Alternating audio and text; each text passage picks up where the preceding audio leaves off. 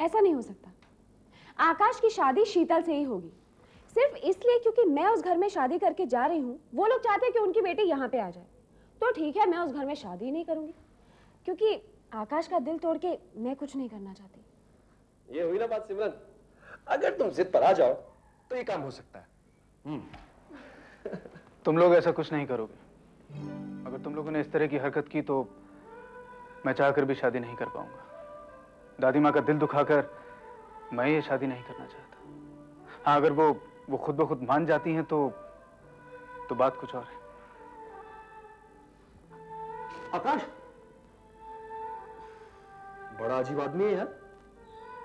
ये पहला आशिक है जो अपने घर वालों की खुशी के लिए अपनी प्रेमिका को छोड़ रहा है।